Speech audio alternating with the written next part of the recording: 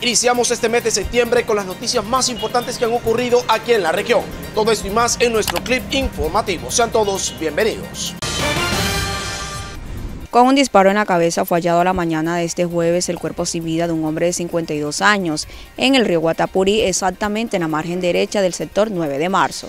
Él salió ayer a las 5 y media de la casa como costumbre que salía él todos los días. ¿De dónde sale la casa? En Mayales Aeropuerto y se vino para acá porque esa es la costumbre del trabajo aquí. Y de aquí él encontraba ya el ganado ordeñado y de ahí lo pasaban, él pasaba el ganado para la orilla del río. Y de ahí no se supo más de él. Escucharon unos tiros, pero nadie, los hijos no percataron ninguno. Me avisaron como a las 3 de la tarde y sal, yo me vine con mis hijos, con los dos hijos mayores y no dimos con la encuentra de ayer en todo el día, en la tarde. Y hoy en la mañana salieron ellos, los hermanos y los hijos y fue que lo encontraron hoy, muerto ya. ¿Dónde lo encuentran? Lo encuentran allá frente a las tierra de Poncho Zuleta, la finca de Poncho Zuleta. ¿En qué estado lo encontraron? Lo encontraron tirado entre el río, dicen ellos, porque yo no alcancé de ir allá a verlo. ¿Se ahogó? ¿Cómo fue una muerte violenta? No, fue con tiro.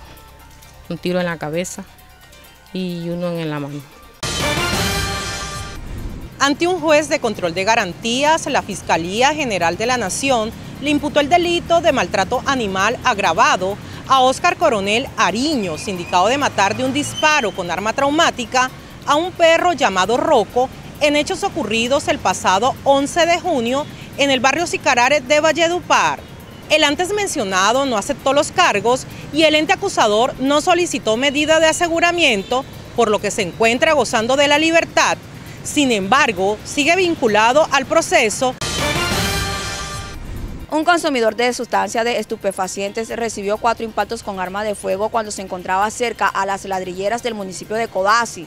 El lesionado recibió uno de los balazos en el testículo derecho.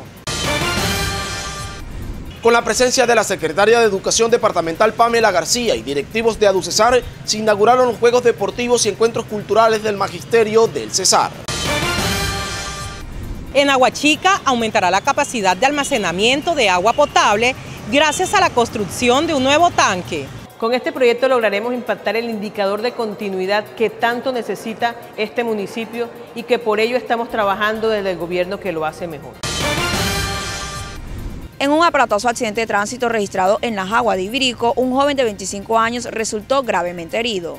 El accidente se presentó sobre las 5 de la tarde de este miércoles. Según versiones de los habitantes, el joven que se movilizaba en una motocicleta chocó contra un carro. En el accidente, el motociclista llevó la peor parte, por lo que debido a la gravedad de las lesiones fue remitido a un centro médico en Valledupar. La Unidad Excepcional de Tránsito y Transporte del Departamento del Cesar capturó a dos personas que se movilizaban en una camioneta que al parecer había sido hurtada en la vereda Las Mercedes en el corregimiento de Caracolí, en la vía que comunica Valledupar con Bosconia.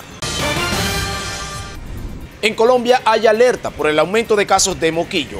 Un experto veterinario explica en qué consiste y cómo prevenir esta enfermedad en los perros. La sintomatología inicial es respiratoria, secreciones nasales, secreciones oculares, dificultad respiratoria, pero también se encuentra sinología gastrointestinal, diarrea, vómito, decaimiento, inapetencia.